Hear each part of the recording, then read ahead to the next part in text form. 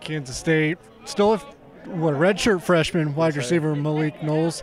Uh, what you kind of learn last year that you're kind of taking with you this year? Um, a lot from the uh, older guys like Dalton Schoen, Zub, just leadership and like the whole fundamentals of our offense, like the studying habits, making the adjustment from high school to uh, college. They really had like a big impact that I'm still working on as on today. I see, like you kind of been in and out a little bit this spring, just a little banged up, I assume. Yes, sir. Uh, we had a, a, few injuries, a little minor setbacks, but that's what the off season's for, so we can build on with my team.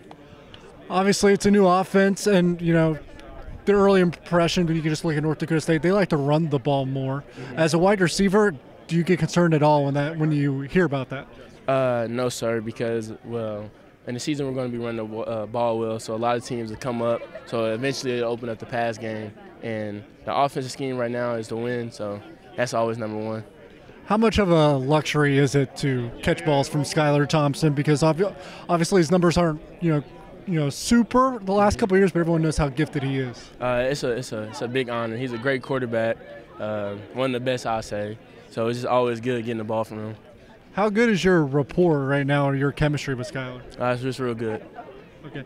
And then in terms of other wide receivers, uh, you, everyone knows about you, Zubes, uh, even Wykeen Gill at this point, Chabastin, Dalton Schoen. Who's kind of anyone else kind of starting to make a big jump forward? Uh, Phillip Brooks, uh, he's a freshman in my class. Um, Eric Hummel, he's an older guy. I think he's a redshirt sophomore. Um, Seth Porter, Hunter Rison, I'm pretty sure you know that. Um, Elliot Olenberger. It's a lot of guys. Like uh, this spring, I think our receiver corps as a unit has got stronger.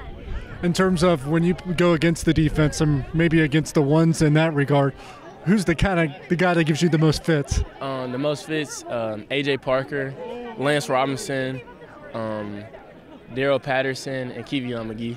Okay. And just how much different or what do you enjoy the most so far of playing for Coach Klieman?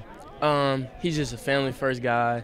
He gives a lot more leeway, but I, his coaching style, I like it a lot. It's like very like players first, and it's like great for us. All right. Thanks, Malik.